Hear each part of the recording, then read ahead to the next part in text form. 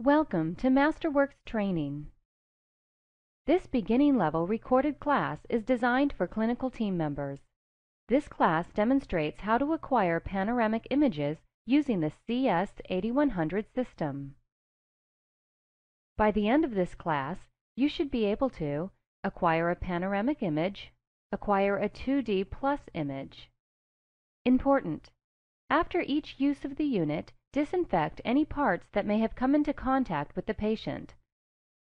See the User's Guide for your imaging system for more information on disinfection and equipment maintenance. Acquiring a panoramic image. Acquisition interface settings. Acquiring an image with the CS8100 can be accomplished in four easy steps. In the first step, select the type of image you would like to take and adjust the patient and exposure settings. In the Panoramic Acquisition window, click the Program button to access the Program pane. In the Program pane, click the area of interest you would like to examine. You can select from a number of options including Standard Panoramic, Segmented Panoramic, Pediatric Panoramic, Lateral TMJ with two or four views, Panoramic without TMJ, or Sinus. For an explanation of the radiological exam options, access the CS8100 Imaging System User's Guide. Select the button for full panoramic exam. Next, select the patient settings. Select the Patient button to access the Patient pane. In the Patient pane, select the patient type. Your selection automatically adjusts the kV and the MA output, as well as the time of exposure, which affects how large the panoramic exposure is. Choose from the following patient types: child, small adult, medium adult, large adult. You can also choose among three different anatomical programs to adapt the exposure to your patient's jaw morphology. This captures a more accurate representation of the dental structures. Choose from the following dental arch morphologies: square-shaped arch, U-shaped arch, V-shaped arch. Select a small adult size to continue. For patients whose anatomy requires kV and MA settings different than the defaults, click the Parameter button and select the settings you want. Select here to fine-tune kV. kV sets the penetration power of X-ray photons through the body. A larger patient requires higher kV. A higher kV provides lower contrast in the resulting image. Select here to fine-tune MA. MA sets the number of X-ray photons released from the X-ray tube. Increasing MA will not provide more penetrating power or lower X-ray contrast. However, it will provide an image that is darker overall. If you would like to memorize these values as the default parameters for the patient type you have selected, click the I button and select Memorize Anatomy Settings. Until changed, the selected patient type uses the kV and MA values you have selected. Acquiring a panoramic image. Positioning the patient. The second step in acquiring an image with the CS8100 is to position the patient. Prepare the unit and patient, then use the optimized face-to-face -face positioning system to position the patient.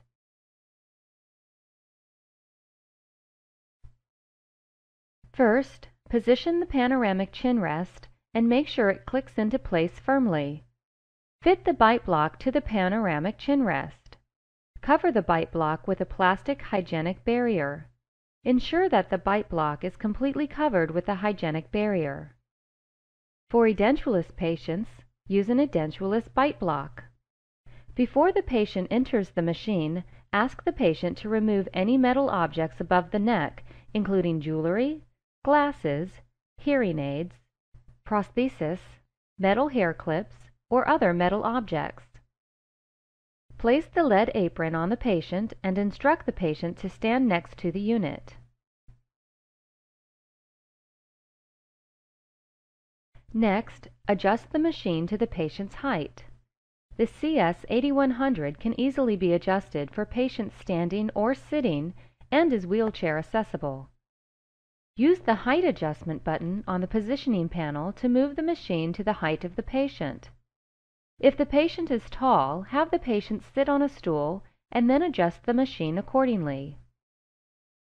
After the machine is at the correct height, ask the patient to stand up straight with feet at shoulder width, grip both of the lower handles of the transparent head and chin rest, position the feet slightly forward, and relax and lower the shoulder.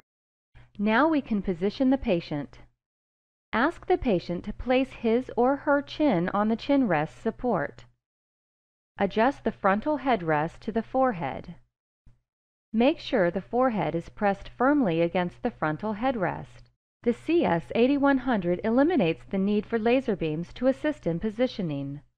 It utilizes an optimized positioning system and an enhanced focal trough with increased thickness and width which provides a greater tolerance for imperfect positioning and challenging anatomy. Using both hands, align the horizontal and vertical position of the head.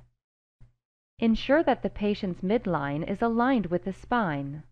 Turn the frontal head adjustment knob to change the up or down inclination of the patient's head. Use the guidelines on the head and chin rest to ensure a Frankfurt plane alignment.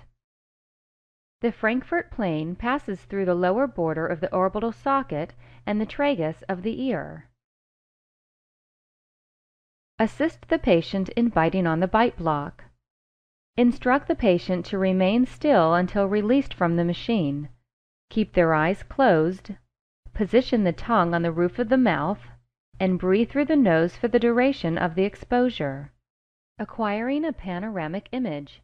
Taking the X-ray. The third step in acquiring an image is to take the X-ray. Launch the X-ray acquisition and complete the examination. To launch the X-ray acquisition, first exit the room. Maintain visual contact with the patient throughout the duration of the exposure. Launch the X-ray with the remote control. Simply press and hold the exposure button until the end of the acquisition is indicated by the on-screen Release Switch message. The X-ray exposure indicator turns yellow and a warning sound is heard during X-ray emission. When the acquisition ends, the acquisition interface disappears and the acquired image is automatically transferred to the imaging window. After the acquisition is complete, return to the room Release the patient and remove the hygiene barrier from the bite block. Acquiring a panoramic image. Review the image. Finally, you can review the image using the dental imaging software. Adjust the image contrast and sharpness using the artifact-free filter, or use any of the imaging processing tools to ensure that you get the high image quality you need for an accurate diagnosis. Acquiring a 2D Plus image. Acquisition Interface Settings Acquiring an image with the CS8100 can be accomplished in four easy steps. In the first step, select the area of interest and adjust the patient and exposure settings. In the Panoramic Acquisition window, click the Program button to access the Program pane. In the Program pane, select the 2D Plus button and then click the area of interest you would like to examine. Each area of interest will create thin slices at regular intervals along the jaw. This way of scoping the jaw allows for buccal lingual exploration. You can select one of five areas. Right molar, right premolar, anterior, left premolar, left molar. Next, select the patient settings. Select the Patient button to access the Patient pane. In the Patient pane, select the patient type. Your selection automatically adjusts the KV and the MA output. Choose from the following patient types. Child, small adult, medium adult, large adult. You can also choose among three different anatomical programs to adapt the exposure to your patient's jaw morphology. This captures a more accurate representation of the dental structures. Choose from the following dental arch morphologies. Square-shaped arch, U-shaped arch, V-shaped arch. Select a small adult size to continue. For patients whose anatomy requires KV and MA settings different than the defaults, click the Parameter button and select the settings you want. Select here to fine-tune KV. KV sets the penetration power of X-ray photons through the body. A larger patient requires higher KV.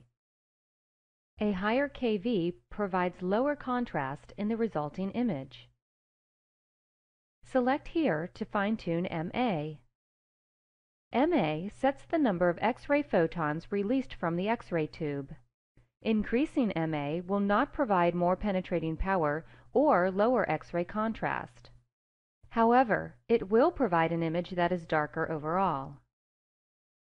If you would like to memorize these values as the default parameters for the patient type you have selected, click the I button and select Memorize Anatomy Settings.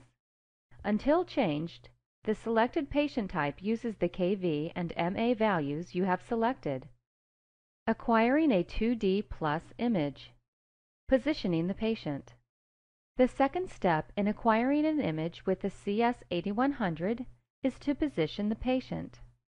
Prepare the unit and patient, then use the optimized face-to-face -face positioning system to position the patient. First, position the panoramic chin rest and make sure it clicks into place firmly. Fit the bite block to the panoramic chin rest. Cover the bite block with a plastic hygienic barrier. Ensure that the bite block is completely covered with a hygienic barrier. For edentulous patients, use an edentulous bite block.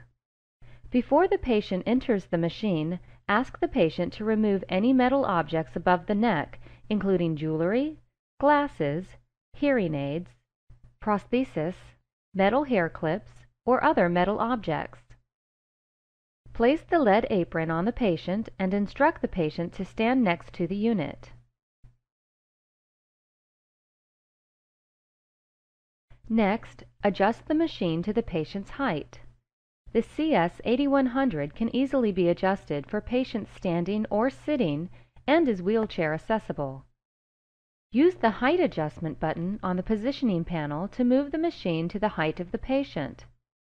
If the patient is tall, have the patient sit on a stool and then adjust the machine accordingly. After the machine is at the correct height, ask the patient to stand up straight with feet at shoulder width, Grip both of the lower handles of the transparent head and chin rest, position the feet slightly forward, and relax and lower the shoulders. Now we can position the patient. Ask the patient to place his or her chin on the chin rest support. Adjust the frontal headrest to the forehead. Make sure the forehead is pressed firmly against the frontal headrest. The CS8100 eliminates the need for laser beams to assist in positioning. It utilizes an optimized positioning system and an enhanced focal trough with increased thickness and width, which provides a greater tolerance for imperfect positioning and challenging anatomy. Using both hands, align the horizontal and vertical position of the head. Ensure that the patient's midline is aligned with the spine. Turn the frontal head adjustment knob to change the up or down inclination of the patient's head. Use the guidelines on the head and chin rest to ensure a Frankfurt plane alignment. The Frankfurt plane passes through the lower border of the orbital socket and the tragus of the ear. Assist the patient in biting on the bite block. Instruct the patient to remain still until released from the machine. Keep their eyes closed, position the tongue on the roof of the mouth, and breathe through the nose for the duration of the exposure. Acquiring a 2D plus image. Taking the X-ray. The third step in acquiring an image is to take the X-ray. Launch the X-ray acquisition and complete the examination. To launch the X-ray acquisition, first exit the room. Maintain visual contact with the patient throughout the duration of the exposure. Launch the X-ray with the remote control. Simply press and hold the exposure button until the end of the acquisition is indicated by the on-screen release switch message. The X-ray exposure indicator turns yellow and a warning sound is heard during X-ray emission. When the acquisition ends, the acquisition interface disappears and the acquired image is automatically transferred to the imaging window. After the acquisition is complete, return to the room, release the patient, and remove the hygiene barrier from the bite block. Acquiring a 2D Plus image. Review the image. Finally, you can review the image using the dental imaging software. Adjust the image contrast and sharpness using the artifact-free filter or use any of the image processing tools to ensure that you get the high image quality you need for an accurate diagnosis. This concludes the class CS8100 system acquiring a panoramic X-ray. Now you should be able to acquire a panoramic image and acquire a 2D Plus image. If you have any comments or questions about this class, please contact us and reference the content code located in the lower right corner of this slide.